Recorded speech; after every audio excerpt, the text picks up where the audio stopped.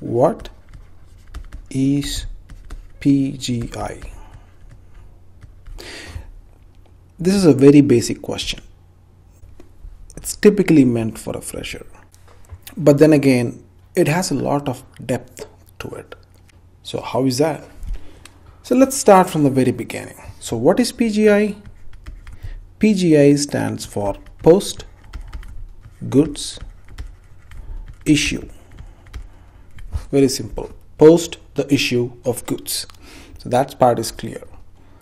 Now, when does this happen?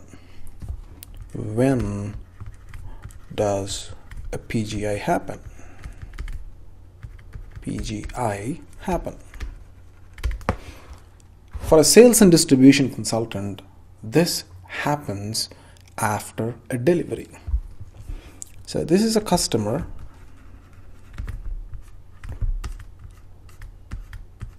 who places a sales order or a purchase order with us and if there is a physical deliverable, for example, if a company is selling computer machines, they have to be delivered. So there's a delivery out there. And as long as there is a delivery of physical goods, there is a whole bunch of things that happen there, like picking, packing, and whatnot.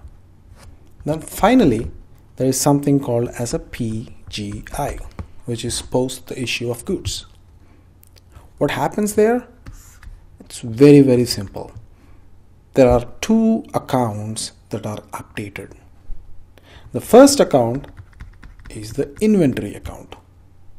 You're taking 10 computers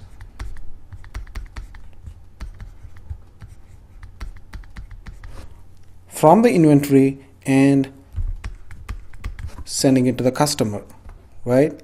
So the inventory has to go down. So the inventory is credited with 10.